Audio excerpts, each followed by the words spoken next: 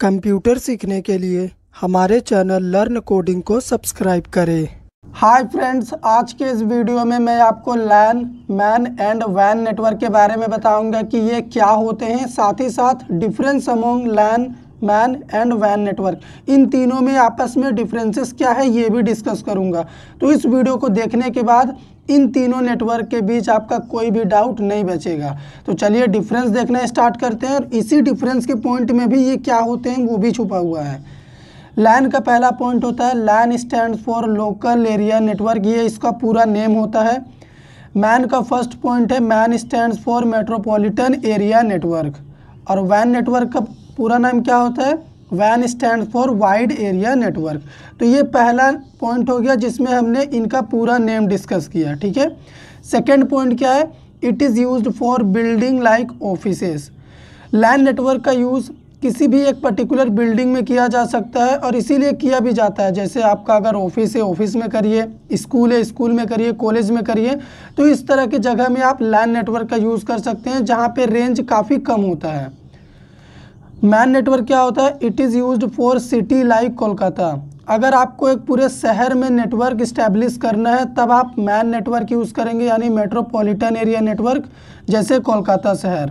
तो इसका रेंज थोड़ा सा ज़्यादा होता है, क्योंकि सिटी तो कुछ बड़ा होगा ना, किसी भी ऑफ़िस स्कूल या बिल्डिंग के मुकाबले। अभी वैन का देखो it is use for countries wide area network का यूज़ हम कंट्री के लिए करते हैं। मान लीजिए अगर मैं बोल दूँ आपके कि पूरे इंडिया में कोई एक नेटवर्क लगा दो, तब आप वाइड एरिया नेटवर्क यूज़ करेंगे तो ऑब्वियसली इसका रेंज ज़्यादा रहेगा, क्योंकि इंडिया काफ़ी बड़ा है। थर्ड पॉइंट देखो transmission speed of data is high LAN network में जो डेटा ट्रांसमिशन का स्पीड है, वो काफ़ी ज़्यादा होता है। ज़्यादा क्यों होता है? क्योंकि इसका रेंज कम होता है। ये एक बिल्डिंग या फिर ऑफ़िस कहीं भी आप यूज़ कर सकते हैं, स्कूल कॉलेज वगैरह में। Transmission speed of data is average metropolitan area network में डेटा का जो ट्रांसमिशन स्पीड होता है, वो एवरेज होता है। एवरेज मतलब लाइन के मुकाबले कम होता है। क्यों कम होता है? क्योंकि इसका रेंज काफ़ी ज़्यादा होता है लाइन के मुकाबले। कोलकाता शहर तो बड़ा होगा ना, किसी भी ऑफ़िस या बिल्डिंग के मुकाबले। इसीलिए, अभी इसमें देखो transmission speed of data is low wide area network में डेटा का ट्रांसमिशन स्पीड काफ़ी कम होता है, क्योंकि इसका रेंज और बहुत ज़्यादा होता है, क्योंकि पूरे देश में अगर नेटवर्क कोई रहेगा तो उसमें तो डेटा अगर आप ट्रांसफ़र करेंगे तो वो पूरे रेंज में ना कवर करेगा, इसीलिए इसका स्पीड स्लो हो जाता है। फोर्थ पॉइंट देखो, LAN network range zero to one fifty metre. हमारा जो लोकल एरिया नेटवर्क होता है, उसका रेंज होता है ज़ीरो से डेढ़ सौ मीटर के बीच। तो इसी रेंज के अंदर तो हमारा स्कूल कॉलेज बिल्डिंग ये सब आ जाएगा, कोई भी एक पर्टिकुलर लोकेशन ठीक है? अभी मेट्रोपॉलिटन एरिया का रेंज देखो मैन नेटवर्क रेंज पाँच से पचास kilometre. Five to fifty kilometre इसका रेंज होता है, इतने रेंज में तो कोई भी एक शहर आ ही जाएगा, जैसे कोलकाता, ठीक है? तो ये हो गया हमारा मैन नेटवर्क का फोर्थ पॉइंट और वाइड एरिया नेटवर्क का देखिए, इसका रेंज फिक्स नहीं है। क्यों फिक्स नहीं है? क्योंकि ये पूरे कंट्री के लिए यूज़ होता है। आप चाहें तो पूरे दुनिया के लिए भी इसका यूज़ कर सकते हो। ये आपके ऊपर है। फिफ्थ पॉइंट देखो land network ownership is private हमारा जो लोकल एरिया नेटवर्क होता है, उसका ओनरशिप प्राइवेट होता है। मतलब आप इसमें खुद के मालिक होते हैं। आप अपना खुद का प्राइवेट नेटवर्क लगा सकते हैं। अगर आपको अपने ऑफ़िस में नेटवर्क लगाना है तो थोड़ी ना कोई गवर्नमेंट लगा के देगा। आपको खुद लगाना पड़ेगा। तो वो आपका प्राइवेट चीज़ हुआ।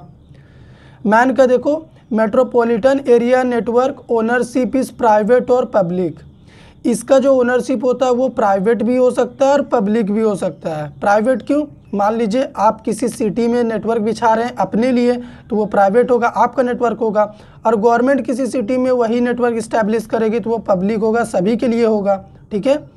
और इसमें देखो वैन नेटवर्क ओनरशिप ऑल्सो प्राइवेट और पब्लिक इसका भी जो ओनरशिप होता है वो प्राइवेट या फिर पब्लिक होता है।